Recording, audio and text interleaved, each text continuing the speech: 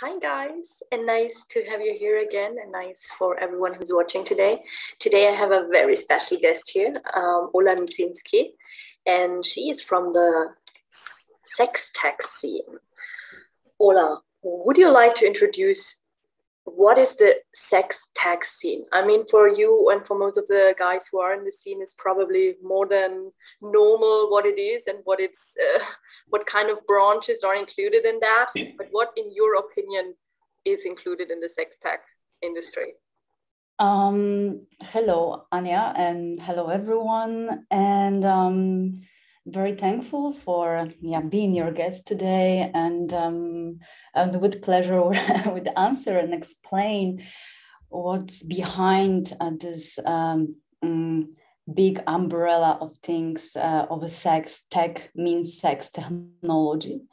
Um, I'm pretty sure that almost every one of your listeners um, has at least one connection to at least one or probably two sex tech products or services in their everyday life. Um, the only thing is that in the common um, outside world, we often don't know that what we use is actually a sex tech. Basically, sex tech by definition, it's a very technology that enhances human sexuality. And by that, it could be the best example, it's a Tinder it's a big sector of sex and dating apps. That's one of the branches of the sex technology. Um, a super popular, statistically, every third person is or will be soon using dating apps. Um, so that's very commercial example. Um, following by that, sex pleasure products, sex toys, haptic toys, remote toys, teledildonics, um, third product, as everyone is probably knowing and using it, are audio erotics, um, porn platforms. Those are also categories and segments of what we are working, which is the sex technology. So, what brought you into that technology? I mean, were you always up into programming because it's very technical? I, I think I would assume, or is it just because it recently came up with that because well i guess that's all also very long and old branch um, computer and IT, it always existed since the computer and since internet and since um, that it kind of developed uh, parallel. Well, it has been there and it will be there, but people are not aware of that because they don't have it in their mind that it really belongs into that corner. They usually put it in the corner, oh, it's IT. But as you because said, it is not, IT as well. It is IT, but you make a make a difference in there because it's basically sex tech. Well, first of all, the journey for me started in I believe the most natural way as a transition for a professional who works in tech world for over 12 years. So my previous uh, experiences as a data analytic person, um, as a um, tech startup developer and accelerator developer, was working precisely with tech projects of different varieties for 10 years. And over uh, five years ago, uh, we noticed in the industry that there is a one very interesting angle of attack just basically starting to happen as a combination and extension of a femtech industry, um, an industry focusing on human pleasure, uh, industry focusing on innovation and human, human pleasure, interconnectivity of humans in their romantic, sexual, and intimate lives. And, um, and that was extremely interesting back then for me as a person working already in that field to to dive deeper and to to enter this world and to see what's really there and the six years ago it was as we call in tech a blue ocean, which is the space that everything will happen. There's a lot of areas that are not covered. There's a lot to discover, and that was super exciting and interesting for me. Um, and back then we had we had of course companies manufacturing, designing, and engineering pleasure products like sex toys. We had um, beginning of the uh, sex education and platforms. We had first sex dating apps, but we didn't have what we have today. We also had examples of uh, innovation in the area of robotics. So back then, the most innovative artificial intelligence system based was Harmony, Sexbot, not Alexa. That was the time. And that was the most exciting why, uh, for me personally, why I wanted to enter there and to combine my um, previous experiences in the professional life, but also to match make with my own personal level on the, of, a, of a person who always had interest in exploring herself sexually and the person that uh, was identify herself by her own kinks and fetishes and being open about that and and being actively involved uh, as a feminist for many years and a lot of sex positive organizations and groups and collectives. So that was for me the perfect match you know on one hand to extend the technological innovation and and on the other to match with my own uh, personality and my own needs. Sure and also your own interests and everything you basically learn from that one industry. And now you can combine both because in well i guess normal it is really more a male thing like people really tend to lose their feminine side because as soon as I started working with um, tech people, especially in India and stuff like that, it was so they were so focused in their own world, all day programming, 24 hours they were on on on on, on the computers, and it was always computers. And I was like, I didn't understand a word except of zero and one. and so was was that then the time in for six years you decided to um, create and found your own company, or was it later? Um, the company was founded five years ago. Okay. So that was pretty much really one year after me, after I decided to study the industry, when I entered the industry, when I started to interview a lot of of my future colleagues and and the partners and and I was looking for for the answers of why this industry is so decentralized why there is not even one functioning source of truth what to do who to ask for help where is the mentoring where is access to funding where are the accelerators where is the ecosystem? There was no there was nothing. Um, everything that tech industry has structured for decades the funding behind uh, this was all that sex tech uh, could just look and watch and wish that this will happen to us one day. Therefore um, the journey was never easy uh, for any of the uh, entrepreneurs working in that field. But I think that's why it's so excited because it's so decentralized, because it's so much to do. But did you have the same experience when you started in that industry five years ago that people were laughing at you, oh, you're never gonna make it in that business, it's gonna never last, like it's still a taboo topic. Um, you as a female IT entrepreneur um, starting your own company in that kind of business. I mean, if you look now and people start their business in that industry, or no matter if it's sex uh, related, people put you in a certain corner automatically. I mean, the investors might laugh when they do not understand the structure of clitoris, but they won't laugh when they see $30 billion industry. And I, I don't need to um, go in with explanation of you know overcoming my own shame on the shame of my industry in the mainstream when first of all everyone has sex. Mm. everyone's sexual identity existence. Um, people do have sex people will have sex and uh, and people are digitalized their lives completely. Um, it's 10 years of a journey when wellness wellness tech proved that we love to measure everything. We love to measure how much we sleep, what we eat, um, you know, what type of yoga we want to do. It means that we digitalize our health.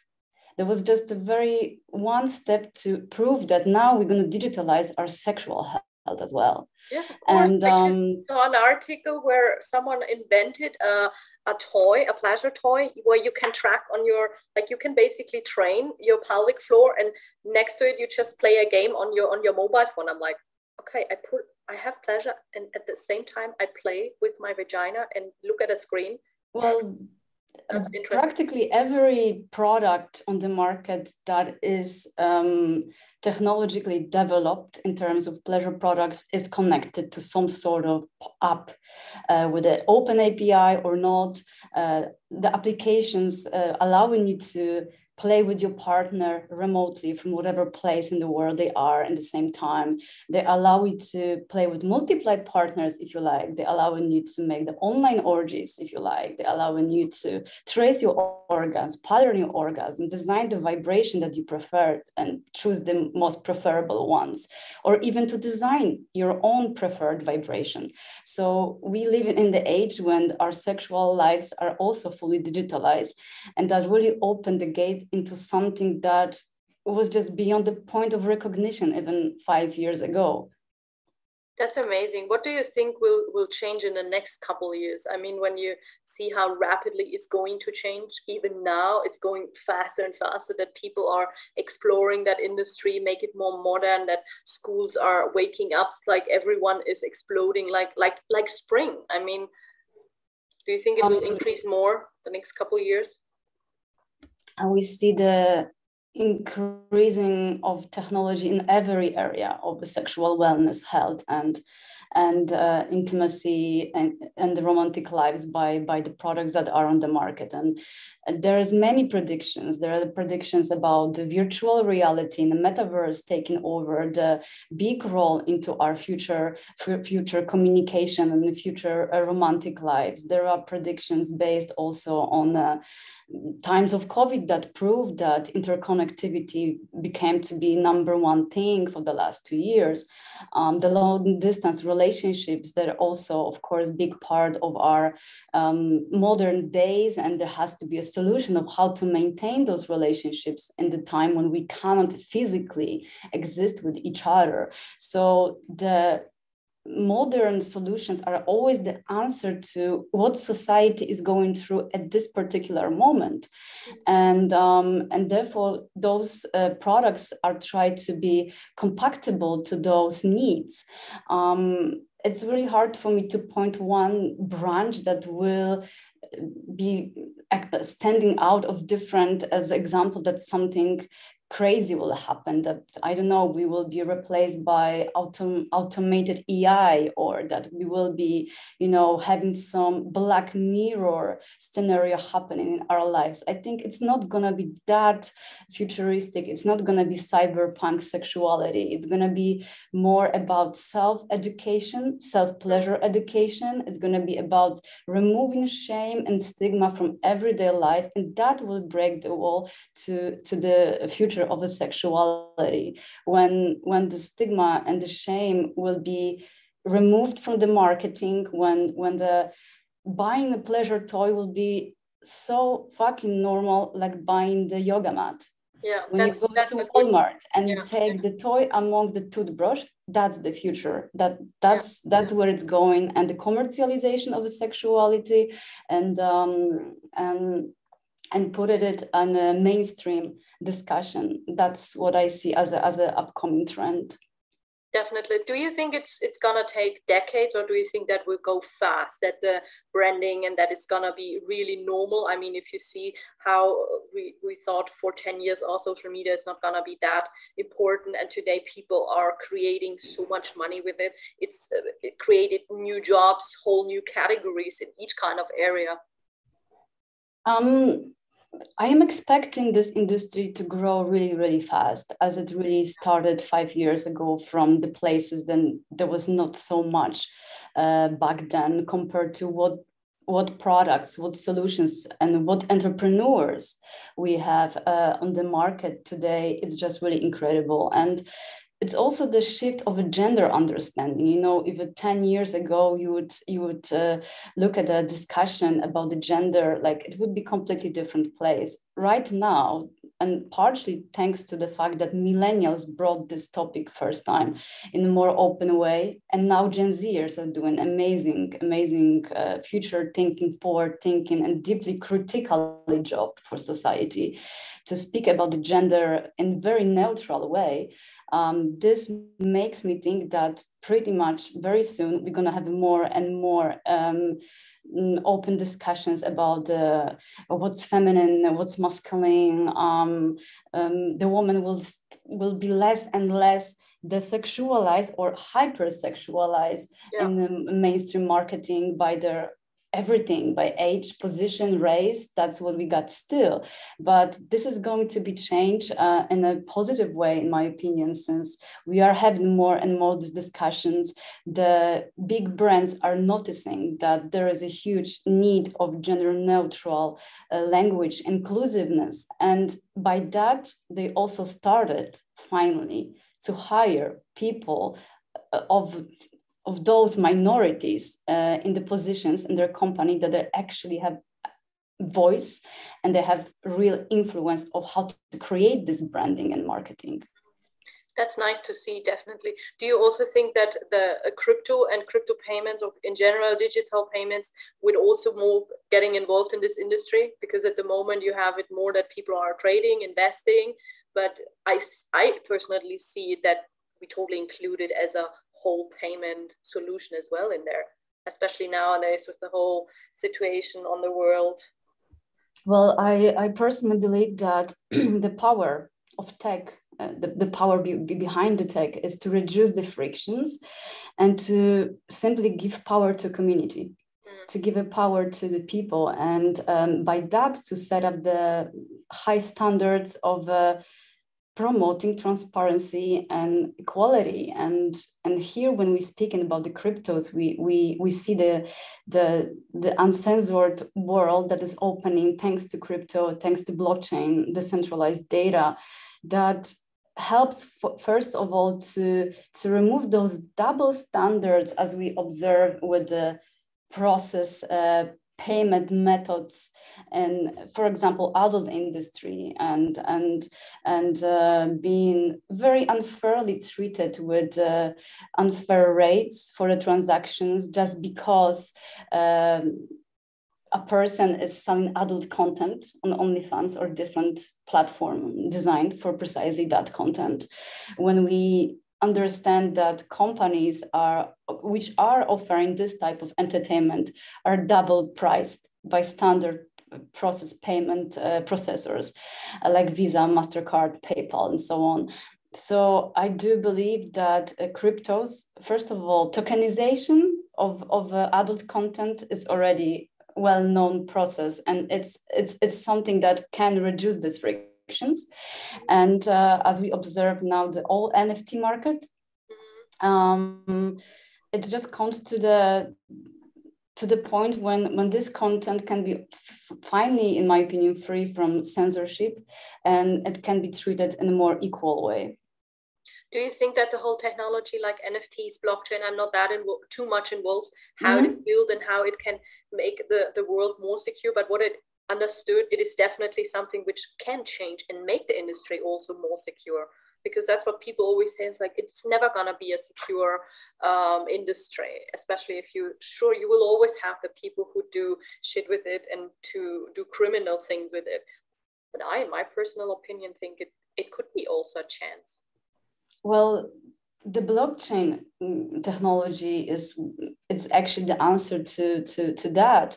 If you decentralize data and everyone has transparent access to this data and see the transaction goes from A to B and there's no third parties involved, well, that's already a huge step towards the transparency. And that's a huge step for not just sex tech or adult business, but basically um, voting systems, for example. Uh, we something that you cannot corrupt, something that you can't lie about, something that it's just really clear who's paying for what to who and which amount without anyone being involved in between. That's already a huge step towards the, the future transparency. And for sure, it's going to help a lot uh, in, in our industry do you also think that in this kind of part, not just the technical part, and also the whole blockchain and metaverse and NFTs, people just have no clue. Well, they just uh, think they um, take that topic and understood it by just reading two or three articles, but it takes time to really understand and jump into it. It's mm-hmm. not like reading a book because it's so complex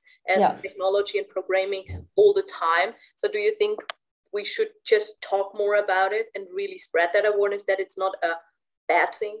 Well, it will be the well, future I'm very much against the situation that um, that there is no social discussions about uh, implementing of a new technology. It's not happening that there is some sort of referendum for whatever society organized from the governmental level asking you as a citizen of this world whether you would like to be in metaverse whether you would like to use blockchain whether you would like to have this new technology ai system scanning your face when you are just passing by your streets and there is a face detector pointing at you. Like do you feel safe with that? This is the, the, the big ethical issue with implementing any technology in this world that we as a final users basically have not enough knowledge how this technology works what it means to us, uh, what can be the consequence of this technology. We do not know if there have been enough tests done, and you know what were the results. But this technology is tested on us. It's tested by Facebook. It's tested by Microsoft. It's tested by big giants, and we are just the users at the very much end of this chain not really you know reading those terms and conditions and not questioning that um, so there is not enough discussion about what technology has as an impact for our general being living whether it's sexuality whether it's intimacy whether it's banking or whether it's a jurisdiction. So you think people are just taking it blindly and because someone is inventing it and says okay we're gonna have that now we're gonna promote that to the people we use that in our industry and then it will spread out and people will take it. And th- those people who think it's um, they have no clue about it well maybe they are having fears or maybe they are um, thinking further and jump into those fears and think about the um, what's what it can have an effect on us or future children or whatever. And then they mm. basically took in the beginning against it. So do you think we need to have more awareness to that? Or should well people who invent that and implement that in our society start before and making kind of getting together and saying okay that's the technology that's how it works that can be the effect that's the pros that's the cons and that's how it works? Well it should be done on both sides. I think being the digital creator, create creation, being the living in digital world, it's already a personal responsibility for you and yourself to ask yourself questions whether do you want to use this product or not. Um, obviously, when you install yourself first time on Tinder, you didn't know that the company will actually have a full right to sell your data. You didn't know that even when you delete your uh, personal um, profile, it's still gonna be there. Um, you didn't know that your location will be traced. You didn't know a lot of things because all you wanted to do was just to swipe left and right. Um, obviously, all those uh, closures, legal closures, are into terms and conditions um, that are probably legally registered in the in the in the US. Mm, probably they do also matching with GDPR law in Europe, but the terms and conditions are something we do not ever bother. And um, and it's hard, you know, it's it's it's super hard to to sit uh, and think and question and and and and to dive into details of of whatever digital product, uh, because otherwise, I guess you would spend whole your life just reading terms and conditions I mean, you know, um, not even I do that. I mean, I just no jump right into, and then I was like, okay, I either know that they're gonna track my data, or otherwise it's not gonna work. Or do you well, person think different about those terms? You could also, you know, again because there's no uh, tech education from the perspective of understanding uh, how each technology work on on you as a as an ending user. There is no debates there is no public discussions webinars for society to to be more aware. Um, this gap it's actually a re- real dangerous place. And um, there should be some sort of even basic support of uh, teaching societies that every single time the third party company is involved into whatever big data it might be a problem.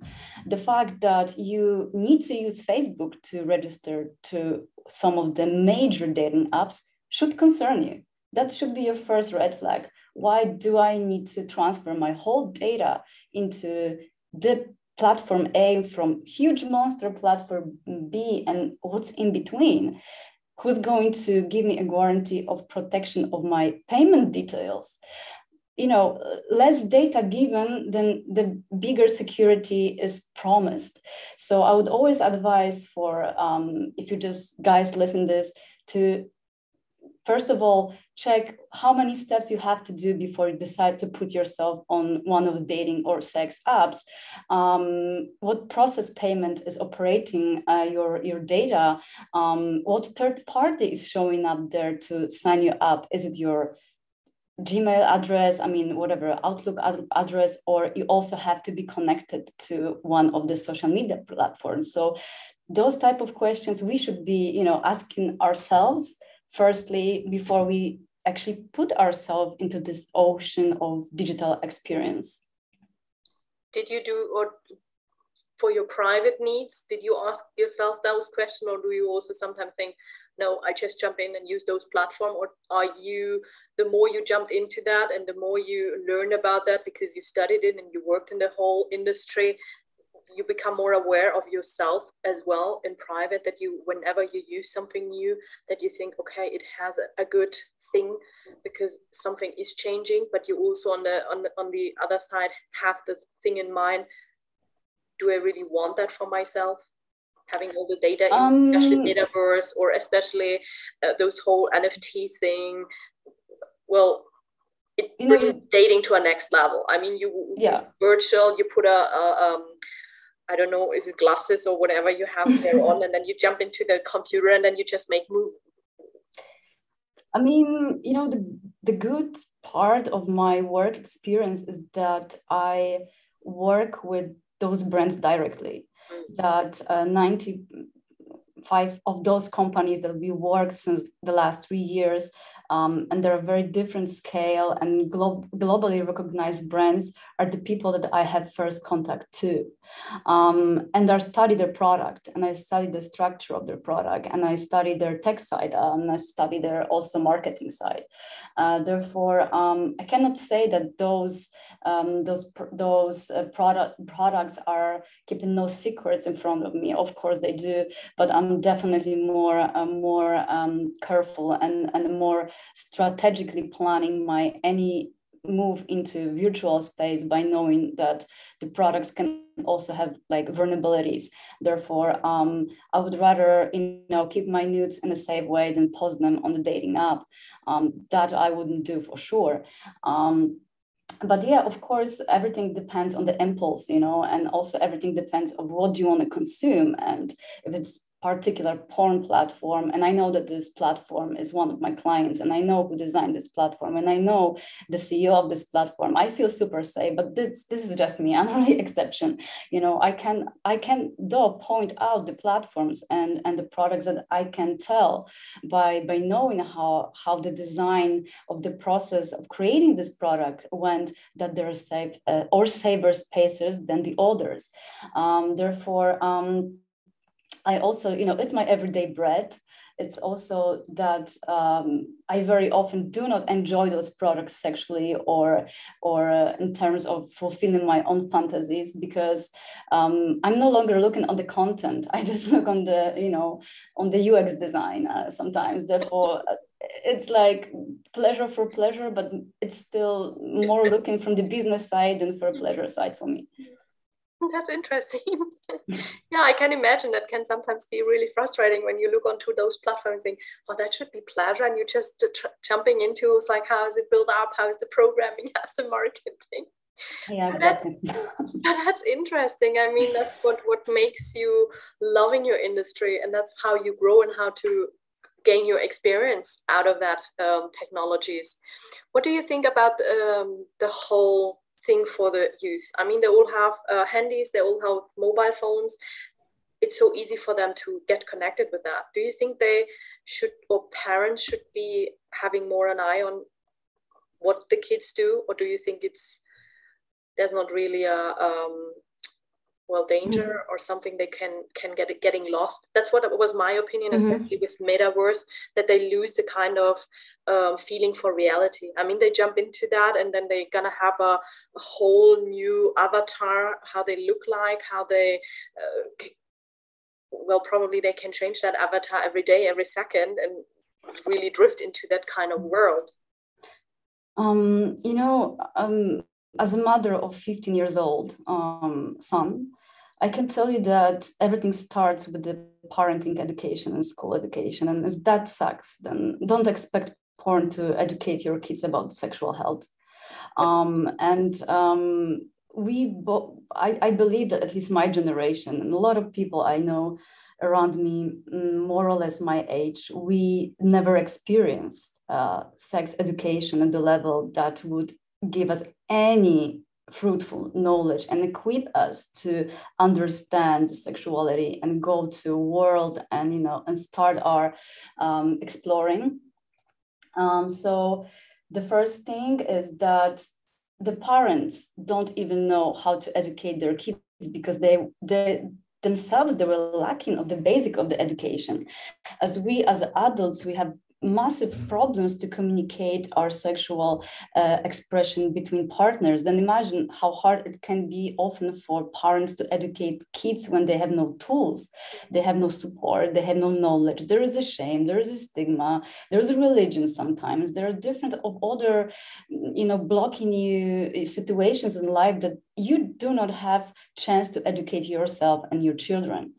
Um, and that's a big problem. So i always say to not look at the technology as some monstrous again black mirror scenario and our kids you know going to be locked in their rooms only with avatars and the only sex they will have with Fleshlight and porn. This is this is not the future. The, the connectivity is always the base human need we have six senses. We are not designed by nature to have just uh, two senses of seeing our laptops and hearing the music. Otherwise, we would just die. that would be, and basically, extension moment would come just from that. Therefore, we are naturally equipped to touch, to sense, to smell, to interact, to laugh, to have sex with, and then it comes to have human human interaction. But the whole source of information about sex is just a pile of shit. And that's the biggest issue that, you know, when I look at the educational program here in Germany, I can say that it's actually interesting that there is diversity in this program that kids from age of 14 to 16 are, are learning about um, the gender equalities the differences between uh, gender roles and their own genitals the std and sti and my son just basically two weeks ago was you know having the exams of the sexual health which is actually very important. It's critical. But then it's it's one of the examples that are working in this educational system, but they're not working in others.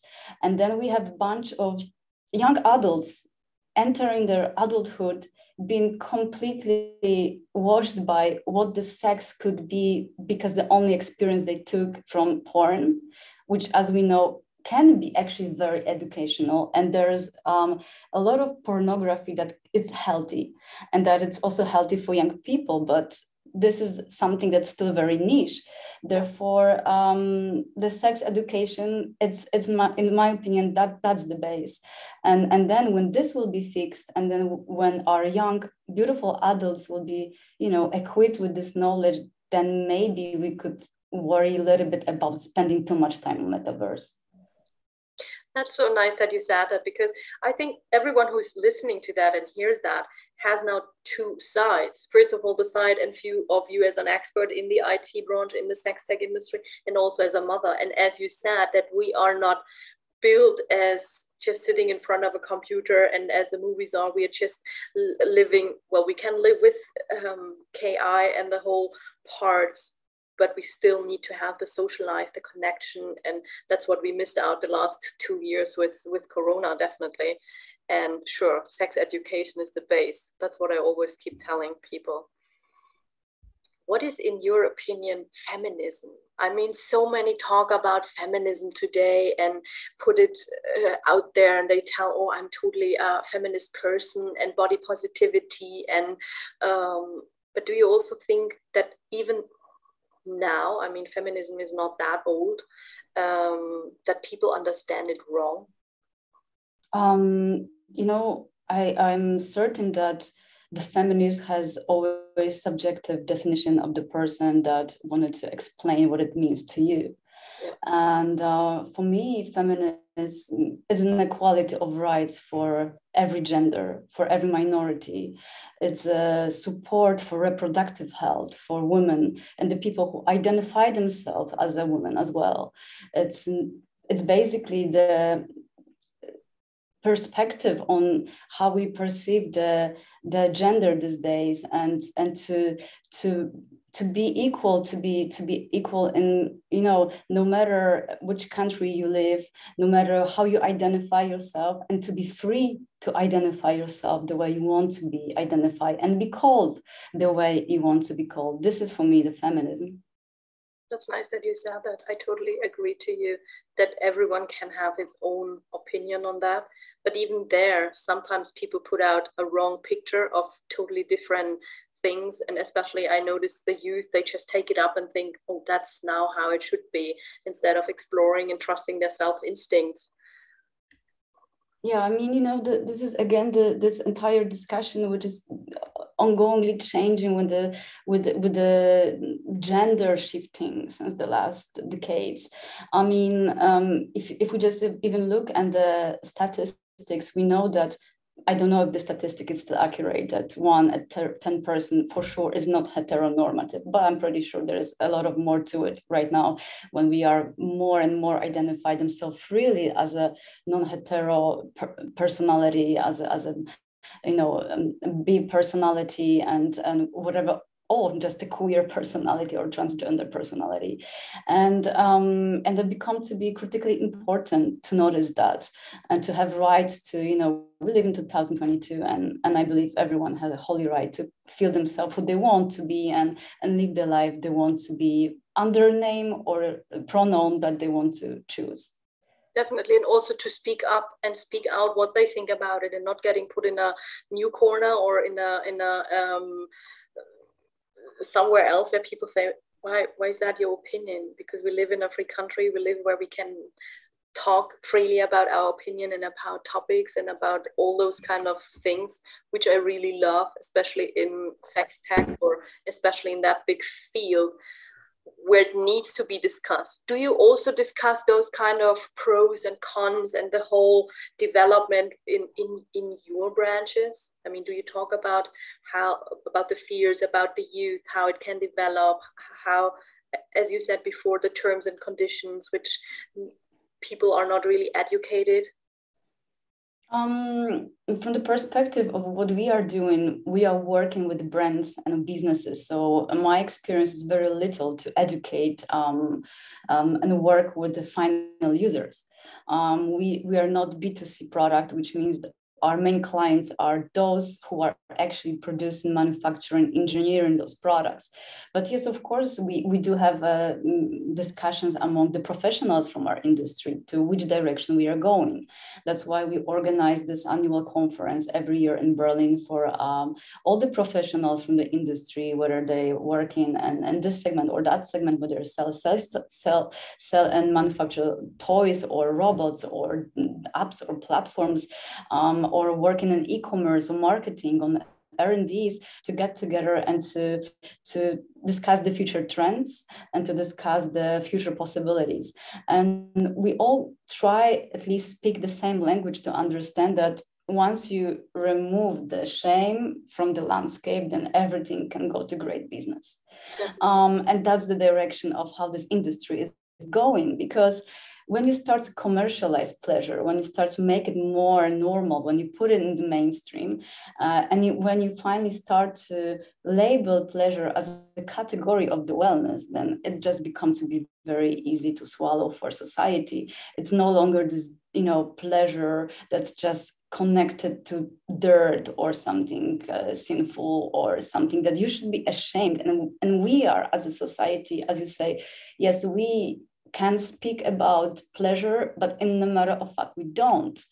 Uh, they're just places in which we feel more safer to, to speak out and maybe those are circles of our friends or maybe communities online or maybe specific communities when you feel safe but it's not still a topic that we are discussing pleasure in you know morning breakfast tv it's not that you you know have this uh, topic uh, ongoingly on the on the mainstream media. I mean, the media are promoting the two types of the sexuality. So yes, we do have this body positiveness trends, which I really you know think it's great that it started to be like that when a lot of brands are are promoting the every type of and shape of a of a body and and, and the gender and and the sexual orientation and that should go this way. But we are still do not talk about pleasure that exists in its own terrain because pleasure it's still very much mixed with reproductive health. So it's you know it, it's still oscillating the same long story. Um, sex is for making babies and that's the result of the of the sexual life um, reproduction. But hell no that's why we have contraception. I mean there's still a lot to do in the terms of contraception a lot and this topic is just really underinvested dramatically. And um, and, and and and definitely needs more more light to it. But that's that's that's the whole point of of finding the pleasure in pleasure to to also be you know more openly uh, sharing your experiences. But once this will be category as a just self-care as a self-wellness then i do believe it's going to be a way easier. And you know even when you look at netflix productions those days it's it happens sometimes i'm sorry that uh pleasure product brands are um, I would say strictly promoted into the marketing strategy as a sponsors of you know some shows. So it's it's actually great when you see the the main protagonists and the characters of your favorite series just having some five minutes pleasure with with a dildo uh, of a brand that you like. I mean, of course, it's product placement. Of course, it's like you know not what you really would like to see being too much, but it's very new that uh, the pleasure products entered the mainstream, that uh, celebrities are, are also promoting the pleasure products on their Instagram, that it becomes more and more and more normal and more um, discussable in the public space. So more of those examples, we definitely need to, to change this landscape but that's a start. That's where everything starts. Just start with something and then it will come more and more as you said. And one day it will be as normal as you buying a yoga mat and having your toothbrush and your uh, toys uh, lying in the bathroom. Well for my kind of person and people I work around, it's kind of normal. Like we have all our sectors around the whole uh, apartments or in our bathroom or whatever, and it's it should get normal for others too and don't feel shame and guilt for having self pleasure i mean it's a normal thing not just seeing sex as making babies and just um, go with the old traditional way and, and looks. And I'm, I'm sure the whole industry will open more up. Do you also yeah, think definitely. that do you also think that people who are um, specialized in that industry still have trouble doing some marketing of course because so many ha- big companies have it in their terms and condition. I mean that's what i see. And when i started with my kind of um, not even just with sex coaching but in the beginning when i started facebook and instagram and I, sure i knew that it is all in the terms and conditions whenever i show some nudity and stuff like that mm-hmm. or people think it's too too harsh. They just block me and my whole account get blocked or it get deleted or whatever um, that it is still uh, I don't know why people are too much on it because sure you can't control it. Then either you block it out the whole way because there's always parts where too either hardcore or too let's say yeah you always will have kids in all those platforms well first of all the consequences of, of the of the shadow banning and the and the uh, censorship of the major platforms um, are actually very bad for society. I mean, the double standards of how this actually is already executed are just really, in my opinion, ridiculous. As if it's absolutely okay to, uh, for example, promote the erectile dysfunction pills and pharma solution, but it's absolutely not okay to showing the naked nipple of a breast of a mother feeding a baby. And yeah. that is already recognized as a you know red alert for algorithm to kick you out. Um, those algorithms were created in a theoretically a very um, a tricky and sneaky way based on this FOSTA FOSTA law to protect youths um, in theory from um, being exposed towards the adult content. But the adult content do not want those users those platforms they do not want the kids. The kids won't pay for this content and they have zero of interest of show, showing them their product. Um, it's absolutely um, terrifying how how this uh, goes in terms of uh, lack of social discussion again of what's what's acceptable what is not acceptable. This popular you know meme when uh, there is a naked torso of a male and naked breast of a woman just next to it and that's good and that's not good. We started to question ourselves so what's actually enough what's what's risky? Uh, which part of my body as a female person because in, in this case let's be honest we're talking about precisely nudity of females and objectifying the woman and telling them that this type of content is already porn yeah. so again zero discussion of whatever sense uh, is there any management center? I'm, I'm just trying to imagine seriously like i'm trying to imagine who the fuck have decided like which part of my body would be recognized by this algorithm to be porny or which part or maybe in which position it wouldn't be. You know what, what would i have to do to to play with the algorithm? And because of that we cannot sustain our business safely. Because of that a lot of our um, digital activities also as a sex education activity is just banned from the space. Our industry um, obviously uh, suffers a lot from the shadow banning and, and the blocking and the, and the censorship in our marketing activities. Therefore, of course, we also need to look for different solutions for, for platforms and places that will be uh, less rigorous uh, for us, for, uh, for even newsletter platforms that will allow us to send whatever content we want to send to people who, and that's important, agreed to receive this content from us. It's not it's not that you know um, the companies are sending a spam to to whatever free data they stole from whatever database. It's the people who decide consciously as adult people to subscribe the channel pay for product. They have rights to be there. They have rights to feel safe. And and also they have right to be a community that discuss openly a sexual life and intimate life on the internet.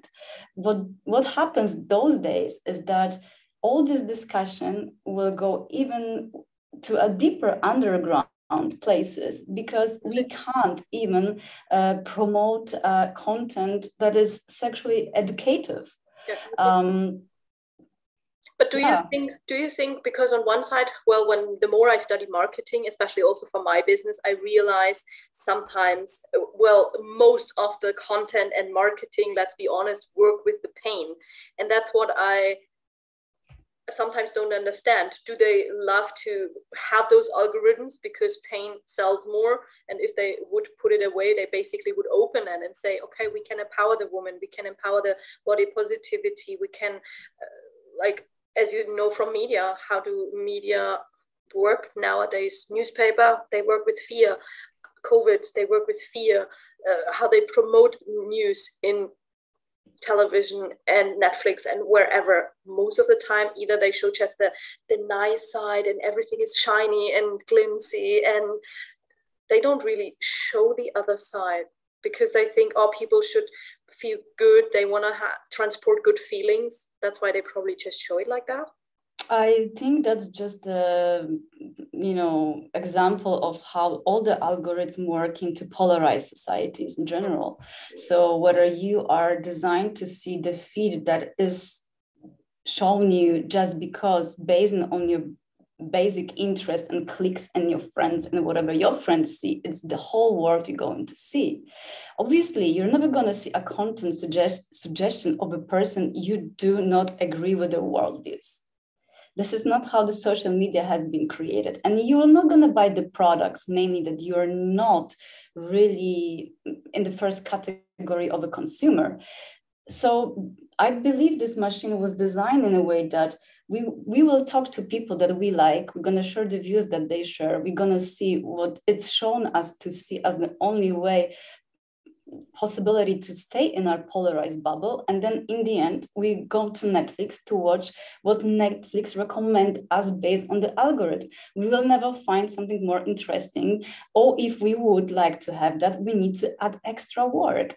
But this was not designed the way to make us being active it was designed us to be in a way um, in a safe category as a consumer. So the Netflix tells you what to watch, the eBay tells you what to buy, the Amazon link is already there for another product of the product you have been, you know, just clicking two weeks ago on the Facebook because it is all super connected and it meant to be that way. It meant to be the five major gi- giants in the world taking the simple control over what, what the consumer think, feel, or where where is the end of your freedom of the personal choices? Because maybe one day you will take this as the whole world as it is without questioning without questioning that there could be maybe different porn platform than the Mind MindGeek platform offers in the world maybe it's also you know interesting to dive a bit into something else maybe there's different niche platforms of e-commerce offering sell of this or that and maybe netflix is netflix is not the only one source of the entertainment.